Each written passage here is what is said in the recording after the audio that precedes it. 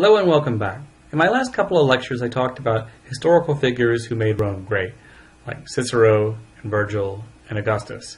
Today I want to talk about the people of Rome, and in particular the institution of citizenship in ancient Rome, and how that changed over time. Now you might be wondering, how did the Romans treat their citizens, and what did it take to be a citizen? This is something that comes up a lot now in our culture, and it's worth talking about here. In the early to mid Republic, so from 509 BCE um, up through, say, the end of the first century BCE, here it is. Roman born men and women who are free are citizens. Now, women don't have voting rights, to be sure, but they have to be citizens in order to make citizens. Immigrants could become citizens relatively easy. In addition, freed slaves living at Rome or in Roman held territory were also considered to be Roman citizens. Now, I put a star by both of these two things because features 2 and 3, the fact that immigrants and freed slaves became citizens, was a fascinating thing in the ancient world. Uh, the polis states of ancient Greece had guarded their citizenship very jealously.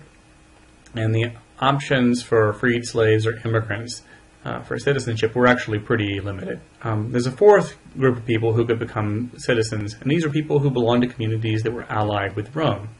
Uh, so whole villages and whole cities would be given, given citizenship privileges, and there were a couple of different flavors with this. Um, you would get voting privileges, and in that case, your citizenship was called optimo iure, or you could be given citizenship without voting privileges, and this was called citizenship sine suffragio. What does citizenship grant you? What does it give you? Men have the right to vote.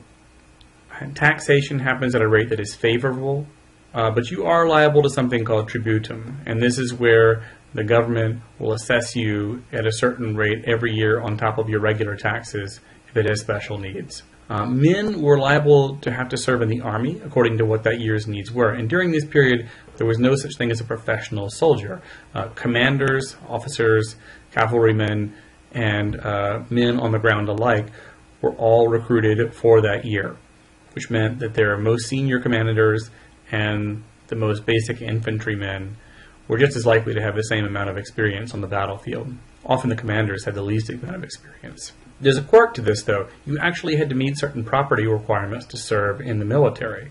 So if you were rich enough to be able to have a horse, you're probably going to serve in the cavalry. However, if you were relatively poor but still had some property, you were going to be serving in the infantry. The, another privilege that granted you as a citizen is that you were traveling in Roman held territories. You weren't subject to the provincial governor in the same way that non citizens were. Provincial governors in this period of the empire were actually there to rule over non citizens who lived in an area that was considered to be at the edge of the empire.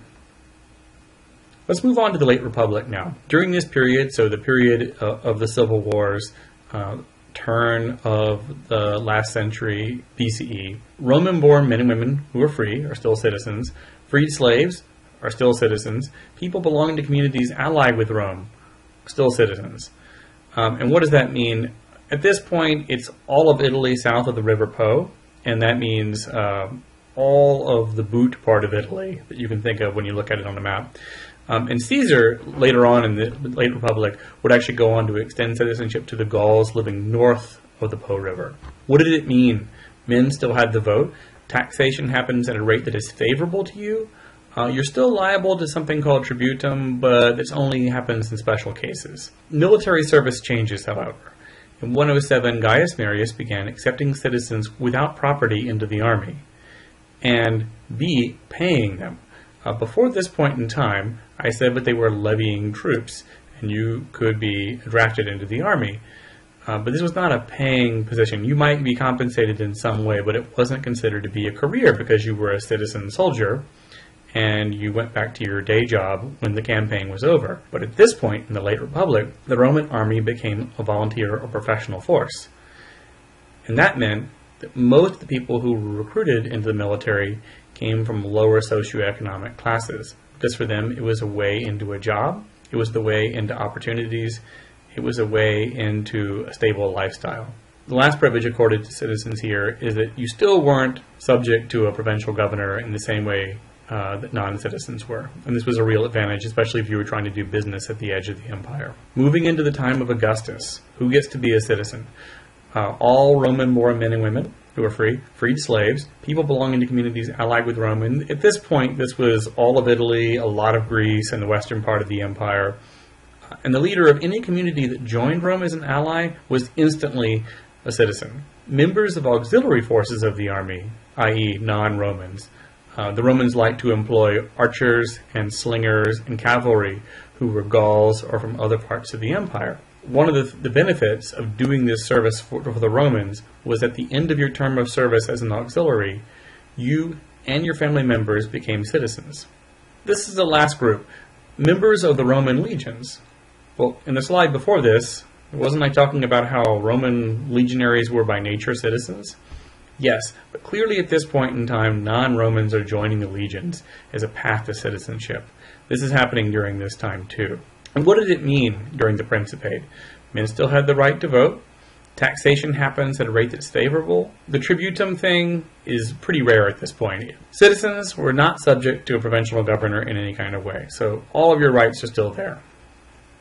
Now, let's flash forward a couple of hundred years. Who gets to be a citizen in the early 3rd century CE? As of 212 CE, the following thing happens. Uh, the so-called Antonine Constitution happens, and this is brought about by a ruler named Caracalla. Um, and he has problems. He has money problems. In order to keep the empire safe, he needs to pay the army at a rate that is better than the inflation that's happening with the coinage. Well, in order to pay the army the amount that they need in order to not rebel against him, he has to find the money somewhere. How does he get this money? He makes virtually every free person inside the empire a citizen. In his Antonine Constitution of 212 CE, all men and women who are free become citizens because they're now taxpayers. What does Roman citizenship mean in this period? Men and women have the right to taxation. Um, at this point, there's no compulsory service in the military anymore. And at this point, if you're living in a province, you're living in a part of Rome. And so the way that the provincial governorship works um, is pretty well laid out. And you don't need special protection from the governor. So it's fair to say at this point the value of citizenship is greatly declined because there's no voting privilege anymore. There's no voting right. Of course, you have protection under the law the same as any any other Roman citizen. But even at this point, uh, the Roman citizens have been divided into honestiores, those who are more honorable, and humiliores, those who are more humble.